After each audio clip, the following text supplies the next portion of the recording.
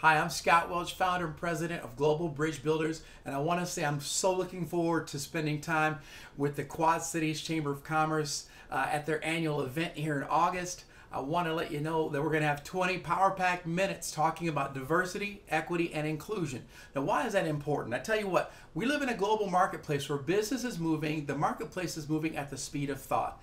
And those organizations that leverage the broadest brain, the broadest group of brains, the most diverse groups are the ones that will be actually around.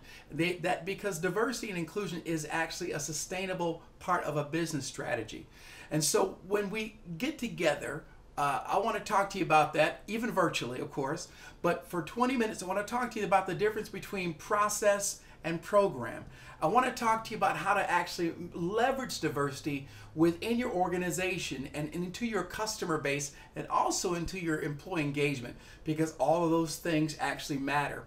Um, when you think about diversity, a lot of folks they look at it as kind of the parsley and the plate. Well, those organizations really don't have a good sense of how to leverage diversity, equity, and inclusion.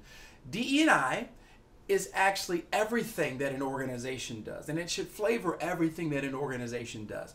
When you think about it, there are no two people on the planet alike. And so when you get an opportunity to bring the broadest frame of reference, the broadest, most heterogeneous groups around the table, that is where the wonderful, wonderful benefit of diversity, equity, inclusion happens. So your question should not be who's at the table, but who's not at the table.